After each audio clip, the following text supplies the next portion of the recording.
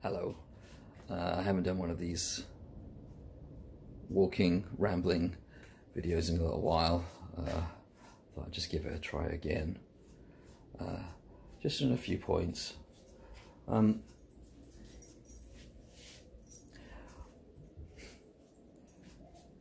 one of the things that's uh, really uh, being clarified for me uh, over a period of time uh, working with demons and the demonic is that uh, is the, uh, the the type of of of devotion uh, uh, that might be appropriate for demons uh, because they definitely teach you things as you go along. And the thing that's really come home to me is that uh, demons don't want emotional, sentimental, kind of splurgy devotion. Uh, they're very practical uh, entities. They're very practical. And the level of devotion uh, comes more from the sort of gut. It's more like the sort of attraction that people feel sexually. In fact, demons are very interested in human sexuality. Um, so that's kind of important, really, uh, because people are conditioned, certainly in in uh, Christian cultures or monotheist cultures to uh, have a very sort of florid sense of, of devotion. And in my experience, um, demons, in terms of the demons you would generally work with, are not so much like that. Uh, uh you know, um, that's not very useful for them.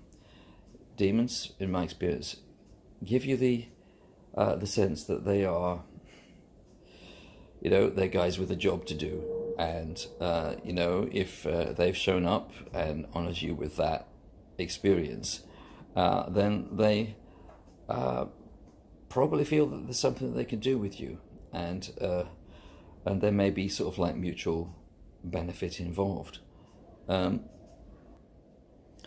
and they actually seem to encourage us to actually be more like that ourselves they actually encourage us to be more like demons and to be more practical emotionally. Uh, uh, and they are definitely not particularly well it depends you know but they're not really that interested in you giving yourself away i mean uh, which is actually a very good thing uh, it's not that that sort of like surrender doesn't have a place in in in in spirituality, of course. Uh, but dealing with the demonic, it very much is that although you can be devoted, uh, you can give a great deal, but there is never a sense that a person actually gives themselves away. That's my experience. Uh, obviously, they're not going to stop you doing. They're not going to stop you making mistakes. Quite often, yeah. Um, at least when you're dealing with the the more initiatic side of things, there is uh, there isn't uh, very much of a a trend to sort of like stop you making your own mistakes. You learn by uh, what you do and what you experience. Uh, nevertheless, if you get the uh, right relationship with uh, with demons, they can be very helpful, and like I said, they can be very practical, and they will put you right on certain things. You know, um, if you've got to that position with them. Uh, I, I, I guess one question would be how do you get to that position with demons? And um, I can only uh, really speak for my own uh, course of things, uh, but uh, you need to establish your relationship with their world. You need to establish your relationship with the hierarchical principles of their world in a sense yeah? I mean for, for me that was uh, through establishing a relationship with satan with sets or set shaitan if you like. Um, that was um, how it, it worked for me rather than just saying oh i'll just call him this demon or, or i'll just call him that demon or, or, or what have you in fact there wasn't any calling uh, there wasn't any calling demons demons show up uh, demons show up uh, the work I did was in establishing that relationship with uh, with with Satan, and uh, and everything followed from there. So, it, in a sense, it had its own organizing principle. Uh, but just to return to um,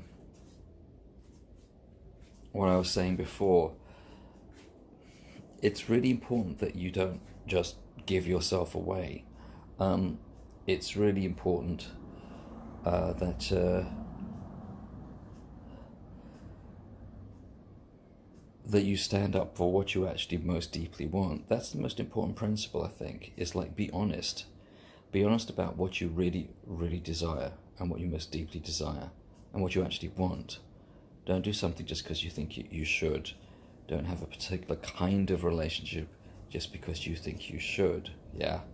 Uh, aside from, you know, the, the most obvious things like you need to show respect, you need to show um, uh, courtesy uh, to these beings who are very old and uh, and can be very very wise. You know. Uh, um, and in their own in their own stream, they are of course, very wise because they are much, much older than us, so they have far more experience um, than we do. But it is important that a person doesn't just give themselves give themselves away, uh, because that is uh, really uh, it's it's replicating a Christian pattern basically, and it's it's not appropriate. Isn't appropriate. Now, uh, another subject is is how we view the infernal, um, and I consider the infernal to be uh, really essential to what you might call operative or, or, or practical magic. Uh, I think it really is the crux of it, and um, so, what do we mean by the infernal? Well, uh, the infernal, I mean, the term in, in itself actually relates etymologically to the underworld. Um, and so we can see here a lot, a lot of things uh, that includes the world of the dead, in in in in a sense, and it also includes uh, those things that we'd normally consider and, and, and think about as being have as having underworld or chthonic qualities, and these are things which um, which are very important in magic because they're very um, they're very powerful at our level and they relate at our level as well, while not actually being of this particular world.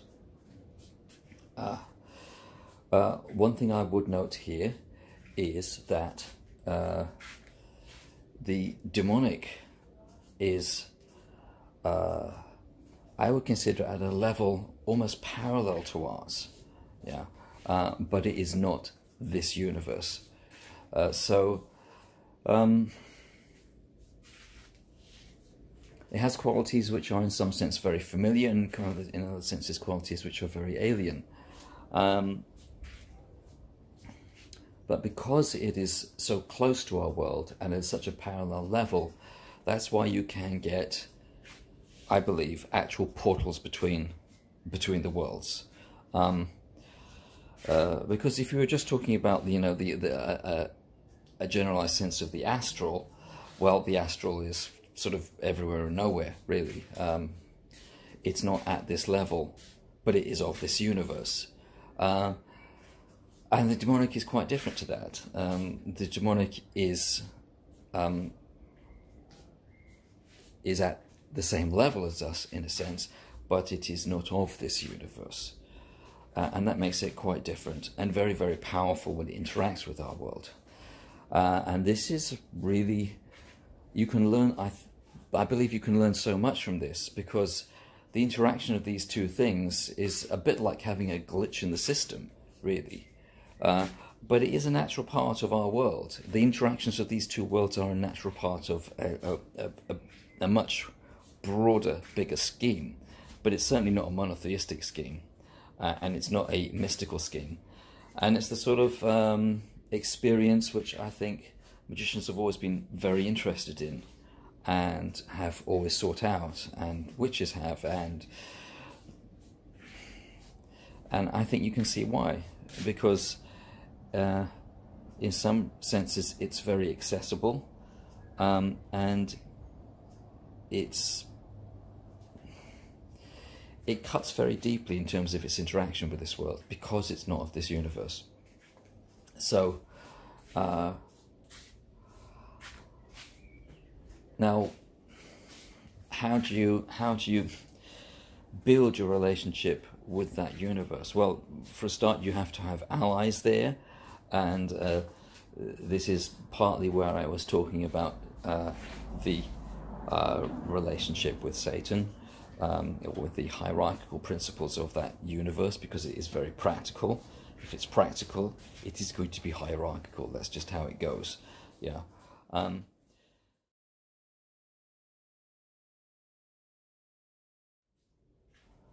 now that's that's one thing. You you you develop a, a, a relationship. You develop allies, and you develop an understanding and an empathy and a resonance uh, with with that world. But the other thing is you can start viewing it as the other world. You can start viewing it uh, as a, another world that you have a particular relationship to and a particular interest in. And uh, I think that will in itself accelerate the development. Um, but you have to always remember you're not giving yourself away, you're doing this for yourself, and you are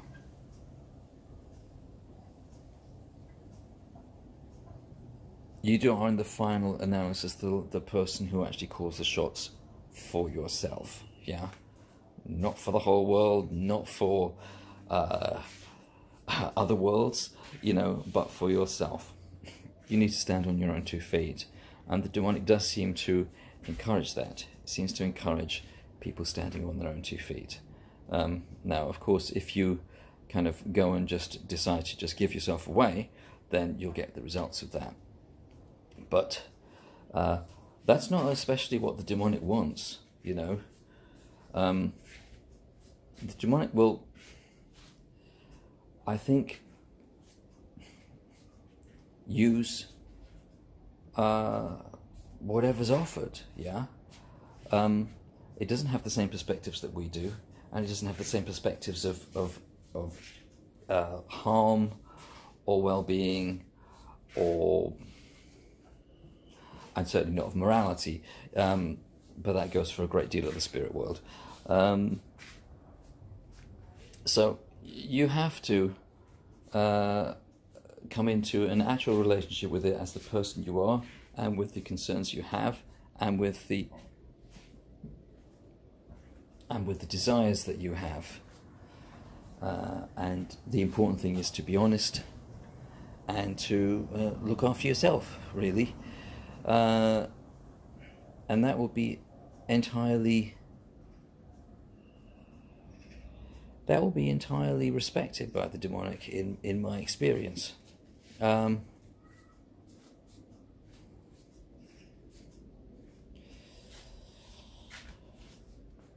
as I said before, that's not there isn't uh, devotion involved in religious practices concerned with uh, the demonic or the diabolical.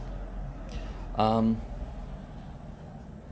uh, there is, but these are, are, as I said, they're similar to the sexual bonds that people establish with each other. Um, uh, people no doubt have a lot of misconceptions about the demonic, and uh, obviously culturally we have a great deal of misconceptions, and there's an awful lot to overcome and shed. Um, but and and the thing is, you can you you just you don't stop learning. Uh, you don't come to a point where oh yeah, this, here's here's the truth. Here's here's how things are. Um, you learn what you can. You learn what you have done so far, um, and you need to be open minded and hang on to things with a light touch uh, in order to in order to progress. I believe. Uh, but the important thing is that uh, you maintain your independence. And well the demonic isn't like something that's always trying to get into this world or something or trying to uh, uh, gain influence over people. It is very practical. If if you go knocking on that door enough you you you may get an answer. Um, but they're not going to be. Uh, they're not that interested in. in they're, they're very interested in aspects of human beings, uh, but not so much in our culture that we've built, or or because we we we really don't understand reality very well at all, um, and they have a much better grasp of exactly how this world works. They really do. Um, Anyway, I think that's the end of my ramblings, and I hope you enjoyed that.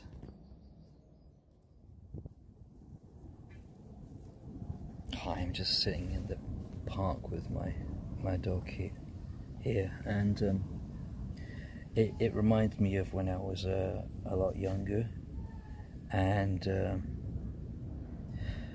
I used to go out for well walks occasionally and sit in a park or something. And one day I was sitting in Kensington Gardens and I think I was feeling quite tense and like you do when there's a build up and something's about to release.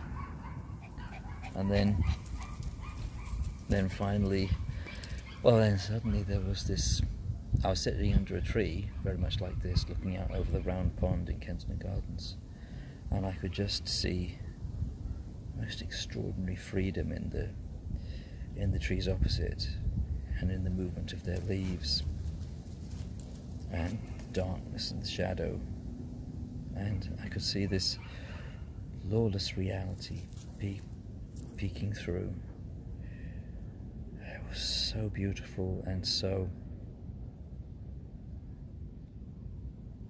free and so liberating.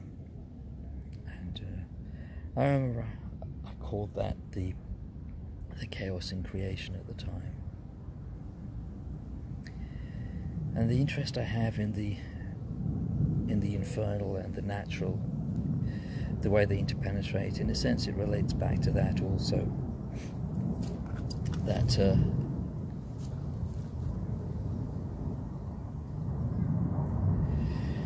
there is this natural interaction, this natural interpenetration between the natural and the infernal, and that the doorways to the underworld are all around us in the natural world. We get somewhat cut off from them in our more civilized world. Uh, you start to see them in little places where it's crumbling in a city or where there's a certain amount of decay or uh, things are fallen fallow. You start to see the same thing. Uh, they just start to come through in its own way, but it's actually rooted in nature. Uh, I think that's why things like ruins and the uh, mm, like the borderland between uh, between things, the borderland between uh, uh, civilization and wilderness, why that's particularly potent for magic and for doing magic. And there's so we always have this sense of the. Uh, it's actually there. It's actually there in the, all the old sources, really. This uh, this interpenetration and uh, the way it relates to magic and magical beings and our, on our coexistence and communication with magical beings. Uh, so it's all pretty cool. Anyway, uh, not sure if I can get this thing to actually. I can't get this to show you what it's like here, but. Uh,